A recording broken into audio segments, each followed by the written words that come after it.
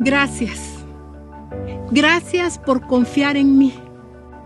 Gracias por apoyarme y derrotar esta dictadura.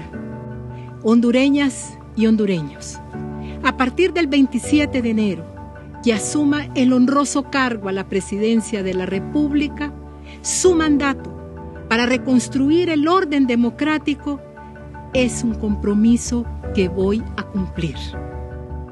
Mujeres, la refundación de Honduras será una realidad para responder a sus sueños, a los jóvenes y a nuestros niños y a nuestras niñas. Con una democracia directa y participativa, todos tendremos oportunidades. Ganamos. Ganamos con 1.716.793 votos, con el 100% de las actas y el 51.12% del total de los votantes certificados por el CNE. No más corrupción y ya estamos trabajando.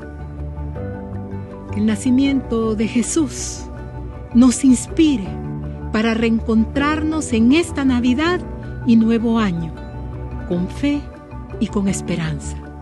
Muchas gracias. Xiomara Castro, presidenta electa.